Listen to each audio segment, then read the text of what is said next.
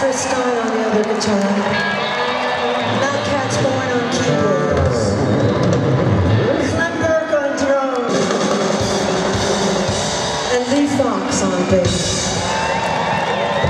Thank you all for sticking around to see Blondie tonight. I know it's been a, a show packed full of music, and uh, it's been a great time. I've gotten to see a lot of the bands and meet some of the musicians. It's been terrific. Thank you. Carry on, carry on. Next song I'm going to do for you is called What I Heard.